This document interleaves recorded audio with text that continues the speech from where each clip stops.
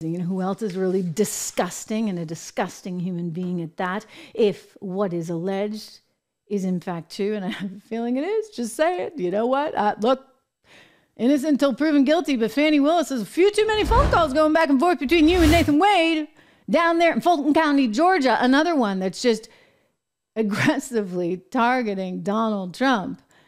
And it seems that, um, well, this is uh, backfiring on her in a rather spectacular way because there are these phone records. You know, I was asking you guys the other day, I was like, okay, so how are they getting this? And you were smart. You were like, it's phone records, it's phone records. Indeed. So I went and did a little due diligence. They got a lot of records, like thousands of calls that were being made between Fani and Nathan according to all of these records, and they've employed a private investigator who went and found all this stuff. And now they're trying to get it admitted into court. So all these phone records are there. And um, I'm sorry, but the, the last I checked, you're interviewing a guy for a job. You're not corresponding with him thousands of times and having him come over to your condo 35 times. So, at issue here is just exactly when the relationship began because if she hired her boyfriend and then went on a bunch of cruises with the boyfriend that he seems to have paid for, well, then isn't he financially benefiting from her position? She literally handpicked somebody that she would then benefit from financially in the job, which would be corrupt, which would be something that she promised not to do. In fact, she's on tape. I played this for you the other day. She's actually on tape saying, you know, we need people who are not corrupt, who are not actually having relationships, or I mean, she was much more crude about it um, with the people that are working for them, et cetera. It turns out, well, that may be allegedly exactly what Fani actually did. Unbelievable. This is like riveting. That court case was insane. I'd never seen anything quite like it.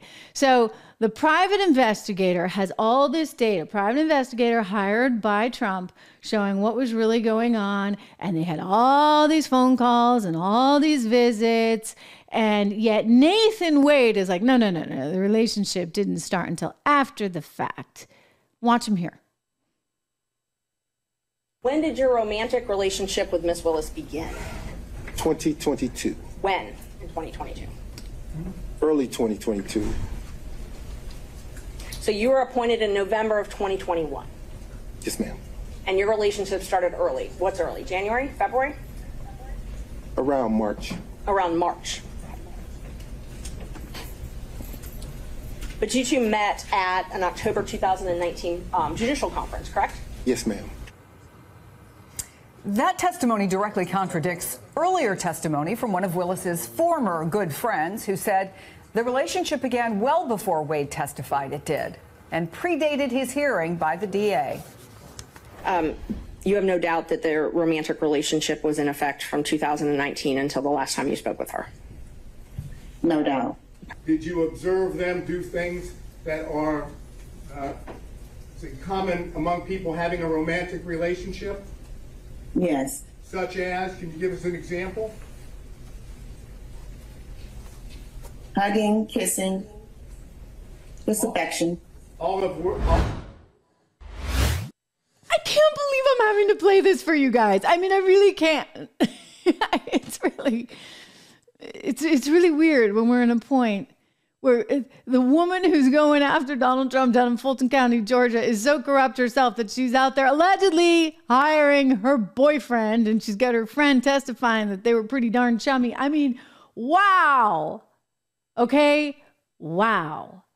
So now the question becomes can this evidence be admissible in court? I should certainly hope so because I think this pretty much proves that Fani was up to no good. And by the way, why hasn't the judge ruled on this one? Because she should be off this case. I predict, assuming that we've got quality people here who are making quality, fair decisions, the judge would say, okay, you know what, Fani, eh, you really can't do this job because, well, you know, this doesn't really look good and you have clearly some ethical lapses. And so, as a result of this, Fani, you're off the gig. And then the whole office dissolves. And guess what? They're right back at square one, which means that trial's going to get way postponed. This is not looking good. the appeal in New York, possible disbarment for Fani Willis, and Jack Smith, well, he's got his own problems. And then you think about Colorado. Colorado has learned the hard way that no, you can't just actually pick and choose who you want on the ballot, that, that the voters actually do have some say in all of these things.